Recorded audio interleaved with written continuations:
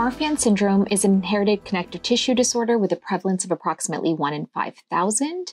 Um, it is caused by mutations in the fibrillin 1 gene. The overall clinical phenotype can be highly variable. However, aortic aneurysms, predominantly involving the aortic root, are highly prevalent, and individuals are more susceptible to both types A and types B aortic dissection.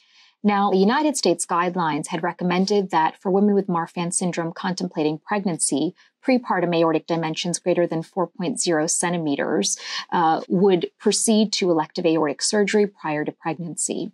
The European guidelines recommended that in women with Marfan syndrome contemplating pregnancy, a prepartum aortic root of greater than 4.5 centimeters should prompt elective aortic intervention. Now, these numbers in the cardiology community are highly distinct. It's like saying someone is five foot tall versus six foot tall.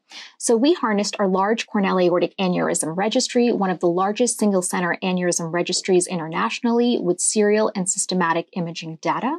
This included a group of very well characterized Marfan syndrome women by the Ghent Diagnostic Nosologies, whose pregnancies were followed systematically with serial imaging data. Our results demonstrated that women with Marfan syndrome, in whom we have serial and systematic imaging data, demonstrated stability of aortic dimensions throughout the peri-pregnancy period.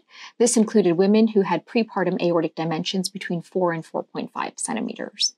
There were five women in whom we noted peri-pregnancy related aortic complications.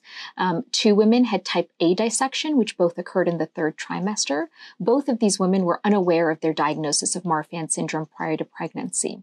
There were two type B dissections that occurred early in the postpartum period, both in women who were aware of their diagnosis of Marfan syndrome prior to pregnancy and who had non-prohibitive or non-surgical aortic dimensions. There was also one isolated coronary artery dissection that occurred early in the postpartum period in a woman that was aware of her diagnosis of Marfan syndrome prior to pregnancy. The cumulative incidence of having an aortic dissection uh, was similar in never versus ever pregnant women, um, and this should be noted.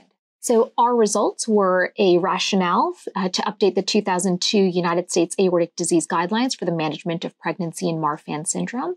It is now recommended that women with prepartum aortic dimensions of 4.5 centimeters undergo elective aortic surgery prior to pregnancy. The big takeaway from our paper is that type B dissections in Marfan syndrome are unpredictable. This has really paved the way for our latest data, which was published in the Journal of the American College of Cardiology in November of 2023 in which we showed that type B aortic dissection in this patient cohort really represents a more severe phenotype in the setting of longer life expectancy.